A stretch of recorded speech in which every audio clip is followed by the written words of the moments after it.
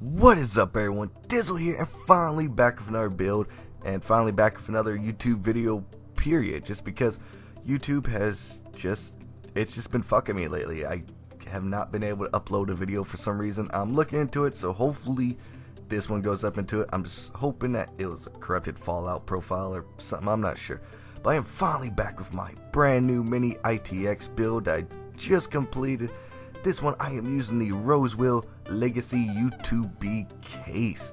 And this is my first mini ITX build, and I gotta say, it was a pain in the ass, but I've done nothing but build on mid towers or full towers, so this was a good learning experience for me. And right here, I have the motherboard all assembled. I'm using the uh, AMD's 880K CPU. I got 8 gigabytes of RAM on there, nothing particularly special, just 1600 speed, just the good old standard. And yeah, you see this, it's a beautiful case, but uh, it's going to be a tight fit. And a couple fuck ups on my end, like this one right here. I assume this case said can fit up to a full ATX power supply, not that it could only fit a full ATX power supply. And I ordered a micro ATX power supply, which just did not fit at all. But luck luckily, I had a spare full ATX power supply, and it was another Corsair is the CS650M, and I managed to fit that one in there. No problem, thankfully. As you can see, I was really looking forward to using that tiny power supply, but it was just a lot smaller than I thought it was going to be.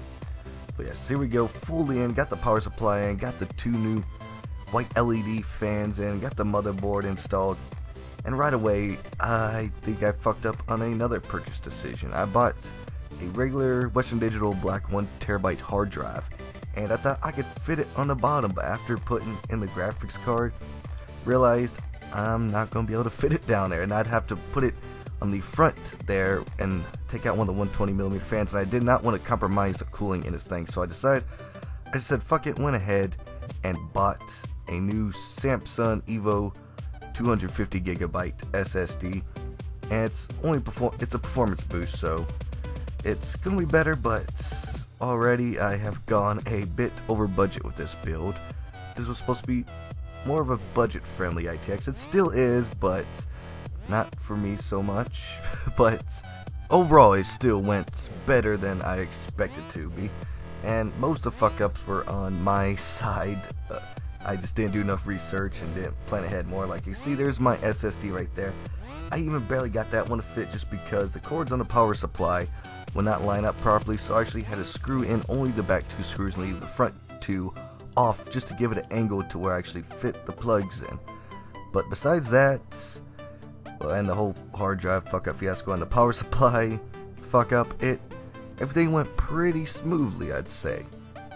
And as you see right now, it's lighting up. It's got those white LEDs glowing, got the blue LED flashing on the RAM stick. And the graphics card I'm using is the new AMD 460 graphics card, which is right around where I'm aiming. I just want this to be a HTC, HTPC and a somewhat console killer at this point. But everything's working good. Just about to get Windows uploaded on here. And then hopefully time for some benchmarking. Now I have successfully got Windows 10 and everything else on there, got my drivers all up to date, got the Wi-Fi working good, and now time to do some 3D Mark, and now I know it's this new thing called Time Spy. Haven't seen that 3D Mark yet. I'll have to make a separate video where I go doing do all my rigs on that one, give it a benchmark on that. But right now I'm just going to use